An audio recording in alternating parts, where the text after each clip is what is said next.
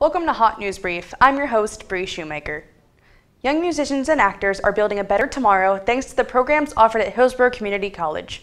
Recently, the HCC music and theater departments came together to perform Rodgers and Hammerstein's Carousel the Musical.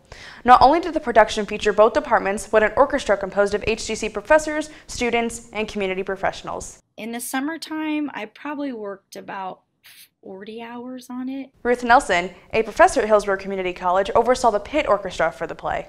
And then we had two days of auditions, and then we've been working in class every day you know every every class period on it. And it was like hit the ground running we need to get this done let's do some technique stuff and right into music right into let's go for it. Nelson said the talents of the students were perfect for this production. Two previous productions have been done Amahl and the night visitors and the mikado but neither were as big as this.